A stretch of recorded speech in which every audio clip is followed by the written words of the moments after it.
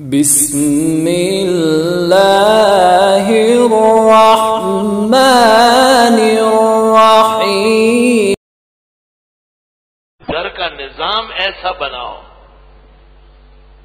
کہ بیبیوں کو، بہنوں کو، بھاوجوں کو پورا پتا ہو کہ اصل مقصود نماز ہے اور فجر ہے۔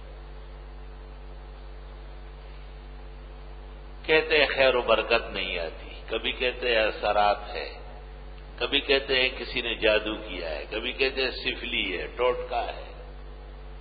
او ہو ہو توبہ توبہ۔ یہ کم برے اثرات ہے کہ وقت فجر گزر گیا کوئی اٹھا ہی نہیں۔ جادو کی کیا ضرورت ہے؟ تباہی کے لیے یہی کافی ہے کہ آپ گھر کے بڑے ہیں اور آپ اپنے گھر کو سنبھال نہیں سکتے۔ تو آپ شہر کو اور ملک کو کیسے سنبھالتے اگر آپ کو موقع دیا جائے؟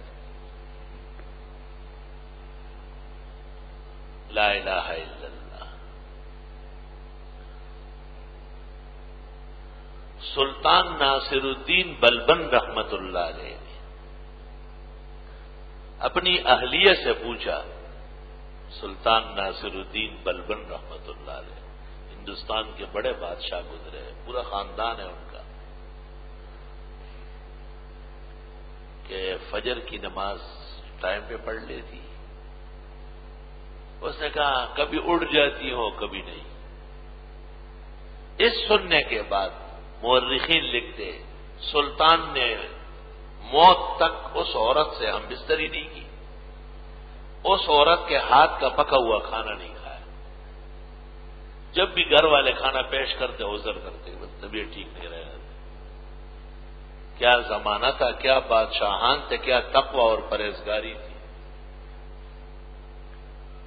کون گھر والوں سے پوچھے گا میں یو کے جو سواں ہے بلوجر یہی تو نبی کو فکر ہے۔